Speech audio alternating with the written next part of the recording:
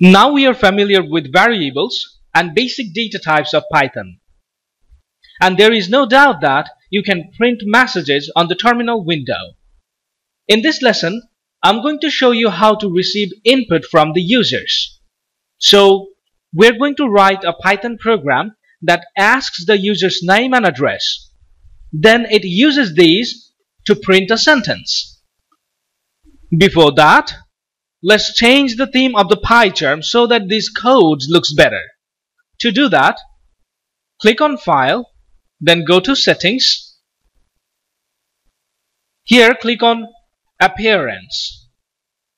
On the right hand side, you will find a drop-down menu with the title Theme. From here you can choose the theme you prefer. I'm going to go with High Contrast. Click on Apply, then OK. So let's get back to the main topic. First of all, create a new Python file and name it lesson 3 then collapse the project panel we're going to use the input function to ask users their information it is a built-in function in Python now inside of the parentheses we have to write some instruction for the users for example, what is your name? Whatever the user will type, this input function will receive it. Now we need a variable to store it. Let's store it in a variable named name. Then use print function, write username colon space. After that, use a plus symbol. This plus symbol is for concatenation.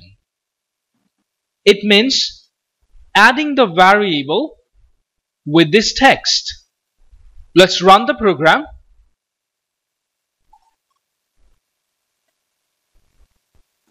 The terminal window is allowing us to type here because we used the input function. I'm typing my name, Nuruzzaman Faruqui. After pressing the enter from the keyboard, we get this result.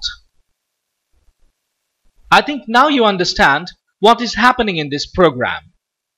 Whenever I'm typing my name, this input function is receiving that, storing it in this name variable, and we know what does the print function do? It prints something. Here is the text. With that, using this plus symbol, we concatenated whatever we have in this variable. And finally, after running the program, this is the output we have got. Username Nuruzzaman Faruqui. Let's modify the program a little. I'm going to use another input function this time it says, Where are you from? And this response will be stored in a variable named address. This time we're going to print first the variable, then we're using concatenation, then in a set of quotation, write lives in, give a space, then again use concatenation, and type this address variable. Run the program. I'm typing my name again. Now the second question. Where are you from? I'm typing Dhaka.